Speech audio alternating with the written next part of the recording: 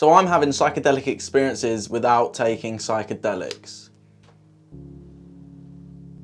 And I'm gonna show you exactly what I'm doing to have these psychedelic experiences so that you don't need to go out and take psychedelics. I'm not saying you shouldn't, I'm not saying you should. It's debatable to whatever you wanna do. But I'm gonna give you a simple method in this video how to have a psychedelic trip without taking psychedelics.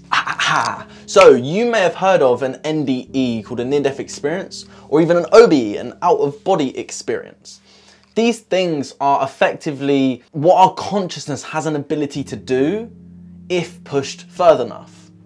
Further enough, far enough, far enough. I personally had an experience with ayahuasca in 2019 that was extremely, extremely traumatic. My body was coming out my mouth, I had vines going through me, I went completely insane. My experience wasn't the greatest.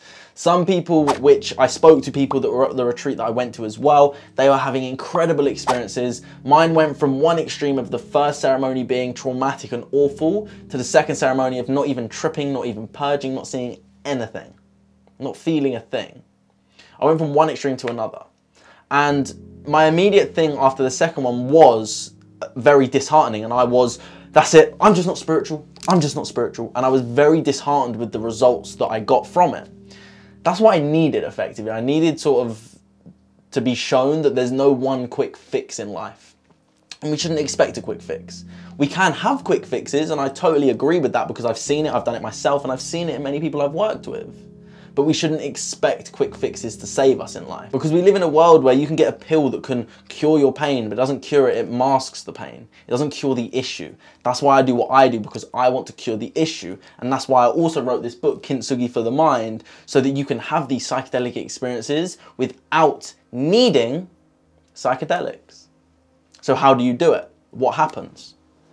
First one, I'm going to dive into what happens, and then I'll explain exactly how to do it. So rather than tripping for four hours with ayahuasca and, and purging and throwing up and going to the toilet, that's, that's how ayahuasca works if you're not familiar with it, I have allowed myself to reduce that whole experience and in 30 minutes, under 30 minutes, you can have that trippy experience. To things where I've seen geometric shapes, I've seen beings come to come to me and, and effectively what's happening is it's like my consciousness is turning off but my body is still on because I'm still sitting upright as this experience is happening around me.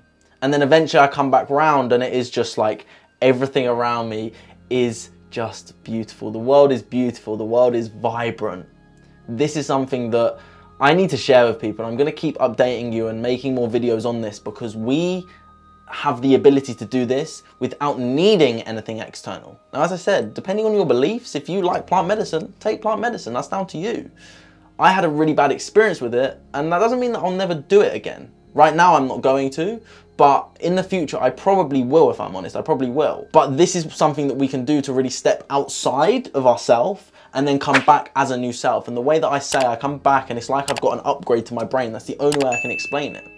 And this is just going to develop as I develop this as well. And it is actually in the book, Kintsugi for the Mind. It is the method that I use. But the good thing is you don't have to have this psychedelic experience if you don't want to.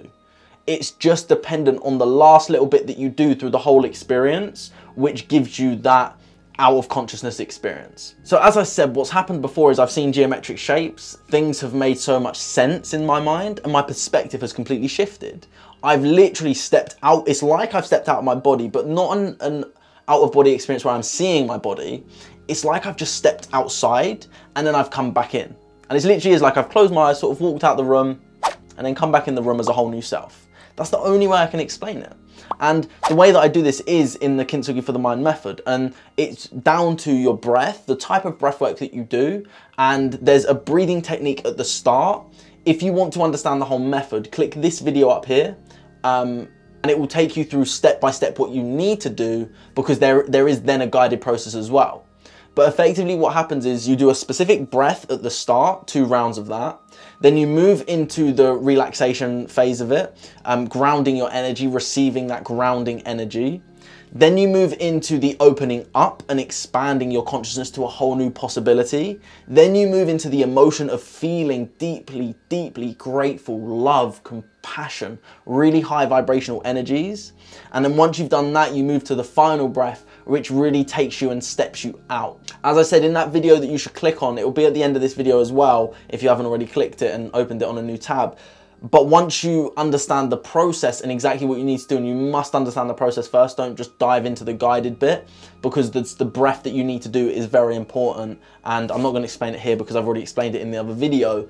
But when you allow yourself to do this, every single time without fail that I've done this, and I've done this many times, I always get the same result. I do this every morning, every evening. I think, no, yesterday I did it once. I, I just did a normal meditation in the morning. But every time I get the same result. And for something to be scientific, it must be repeatable.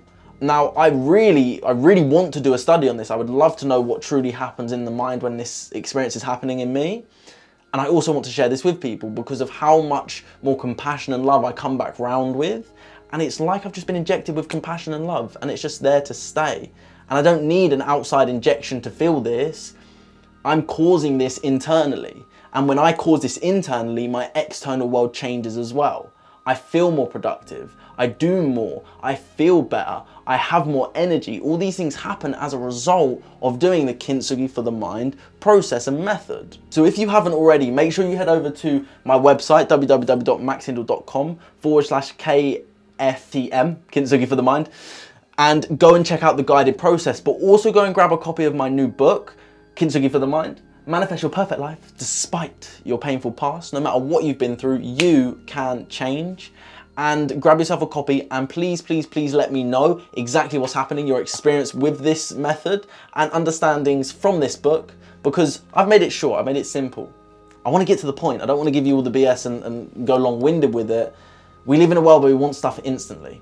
And what has taken me up to an hour and a half, hour before to get to this outcome now takes me only half an hour and I'm giving you that process for totally free. If you want to grab the book as a donation as well, then please do that. But also the information in here is going to change your life, I guarantee you that, and make 2022 your best year yet. But other than that, subscribe,